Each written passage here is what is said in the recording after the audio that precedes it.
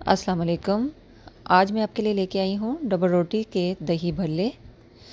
तो इसके लिए जो चीज़ें इस्तेमाल होंगी, वो हैं चार से छः स्लाइस डबल रोटी के।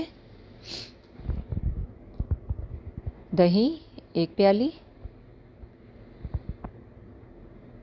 हसब ज़रूरत पानी, बेसन, एक प्याली, एक बटा चार टीस्पून अजवाइन, आधा टीस्पून लाल मिर्च पाउडर नमक हसब ज़रूरत, हल्दी एक बटा चार टीस्पून और गरम मसाला आधा टी स्पून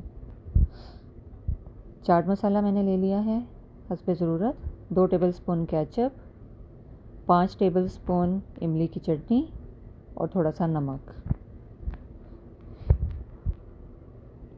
यहाँ पे मैंने कुकिंग ऑयल ले लिया है, फ्राइंग के लिए। सबसे पहले जो हम स्टेप करेंगे वो ये जो सारे मसाले हैं, ये बेसन में जाएँगे और इसका हम बैटर बना लेंगे पानी के साथ। तो ये मैंने बैटर बना लिया है यहाँ पे। ये इसकी कंसिस्टेंसी है।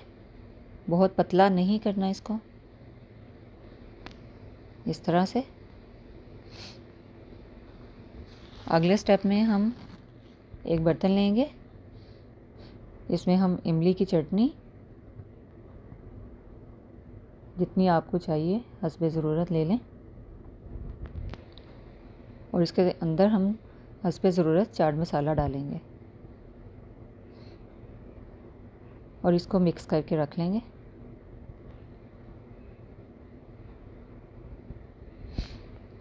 इस तरह से। अब मैंने एक ब्रेड स्लाइस लिया है। इसके अंदर इमली की चटनी और चाट मसाले का जो मैंने बैटर बनाया था, वो लगाएँगे।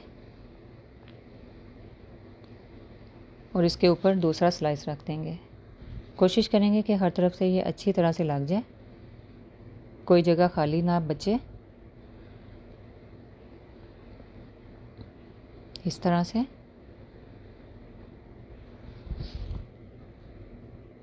और हम इसके ऊपर दूसरा स्लाइस रख देंगे।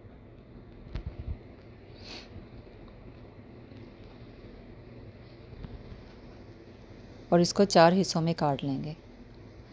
आपको जितनी डबल रोटी चाहिए या जितने आपने दही भले बनाने हैं, उतने स्लाइसेस ले लें आप। इस तरह मैं इसको चार हिस्सों में काट लूँगी।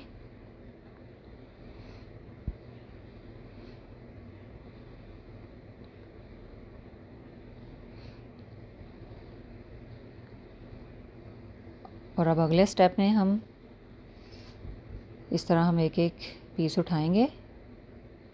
इस पे बेसन का ये बैटर लगाएँगे। कोशिश करें कि हर तरफ़ से कोट हो जाए, लेकिन बहुत एक्स्ट्रा नहीं लगाना, बहुत हैवी हो जाएगा इस तरह से। इस तरह इसको क्लीन कर लें और इनको हम फ्राई कर लेंगे।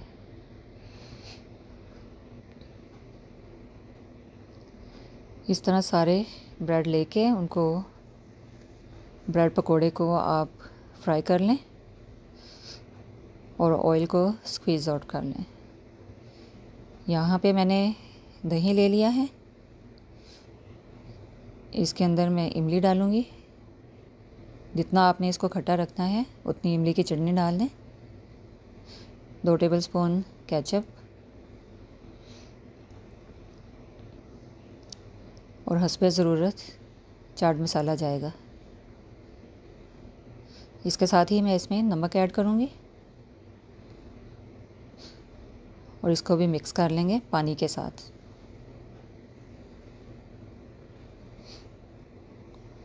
मैंने पानी के साथ इसको मिक्स कर लिया है ताकि ये थोड़ा सा पतला बैटर बने।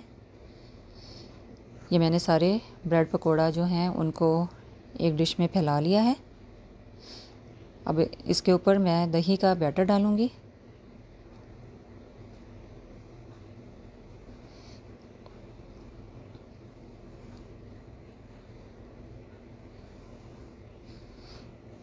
इस तरह ये सारा बैटर इन सारे पकौड़ों के ऊपर चला जाएगा।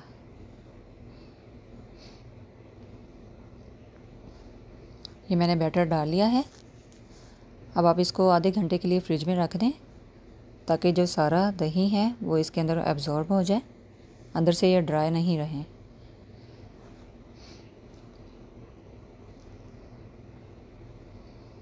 अब मैंने इसको इमली की चटनी और इस तरह बीच में टमाटर के चंक्स दे के इसको डेकोरेट कर लिया है।